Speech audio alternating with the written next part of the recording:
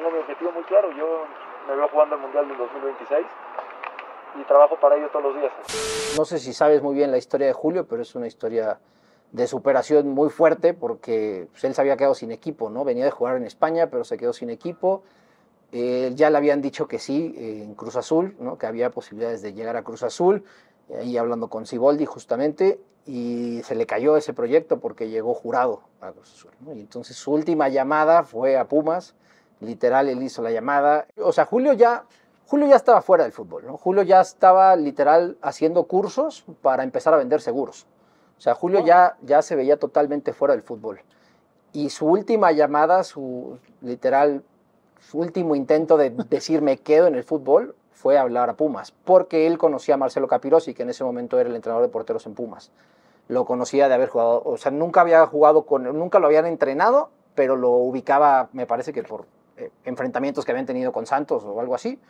Y le marca y le dice, profe, no hay algo disponible para mí, y le dicen, Julio, pues me encantas, pero no, eh, Pumas es un equipo que no contrata porteros, este, ¿no?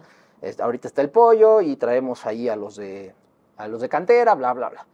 Justo ese día jugó Pumas contra Santos y no me acuerdo quién era el portero, pero cometió dos errores ahí medio fuertes y le hablaron a Julio, ¿no? Le dijo, oye, no, que siempre sí vamos a buscar portero, ¿te interesa?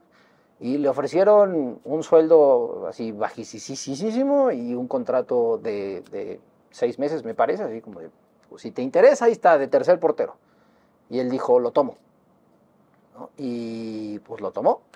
Y de ahí salió quedarse en Pumas, vino, te digo, la pandemia, no sé si te acuerdas, estaba Mitchell en ese entonces, contrataron a Talavera, entonces pues le tocó seguir esperando el, el turno y aguantarse con Talavera Después tuvo una muy buena liguilla, no sé si te acuerdas, que fue cuando la remontada de Cruz Azul. Sí.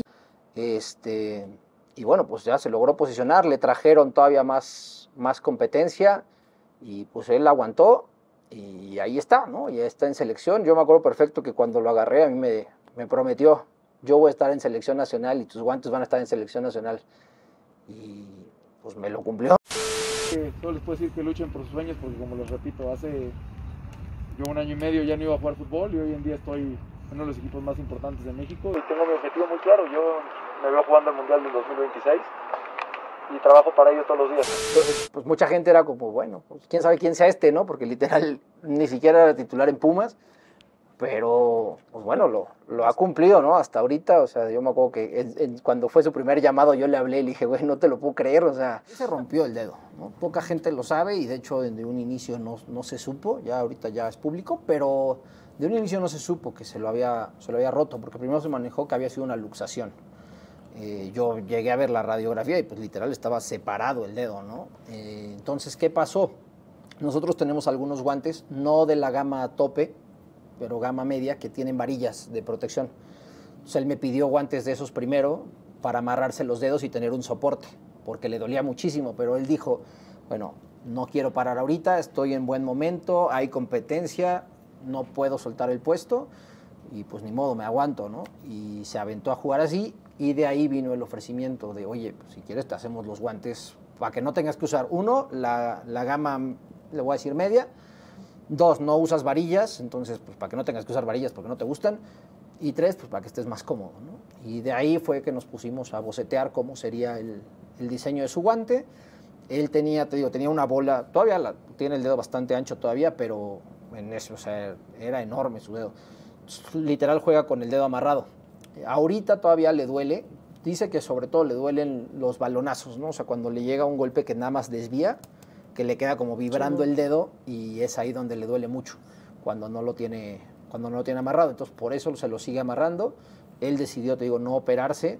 Este, entonces pues ya se va a quedar así su dedo ¿no? entonces realmente no sé por cuánto tiempo va a seguir usando los guantes modificados pero pues por lo menos ahorita todo lo que es el proceso de la copa y arranque del siguiente torneo tenemos ya el producto listo para para dárselo con el espacio de los de los dos dedos. ¿Y cómo fue esa ingeniería? Me dices que hicieron bocetos, eh, es me que, imagino que tienes diseñadores. Sí, en realidad, o sea, solamente lo que teníamos que decidir era qué preferíamos, ¿no? si, qué dedo amarrarle básicamente, si el central o, o agarrarlo con el lateral. O sea, porque podíamos amarrar o estos dos o, o así como quedó el centro, ¿no? Entonces al final lo que se decidió es que eh, cuando tú agarras un balón, estos dos te dan soporte y aprietas con los del centro, ¿no? Pero para que no se te patine, tú normalmente la- le dicen la técnica del triangulito al agarrar el balón. Entonces este tenía que estar con más libertad para poderlo abrir bien. Entonces por eso decidimos que se iba a unir. Quedó un poco más grueso, si te fijas, la verdad es que estéticamente pues está bien raro. Sí. Este, pero es justo por cómo le queda, como le queda una separación en los dedos a la hora que se los amarra, eh, porque lo trae como entablillado, le queda muy ancho esta parte, ¿no? No le quedan, no le quedan amarrados así, sino que trae el, el espacio por la tablilla, entonces le quedan anchos. Entonces, esta era la forma como de, de lograrlo, que, que tuviera el, espacio completo en los dedos y que él se sintiera cómodo para que, para que no tuviera la mano muy apretada.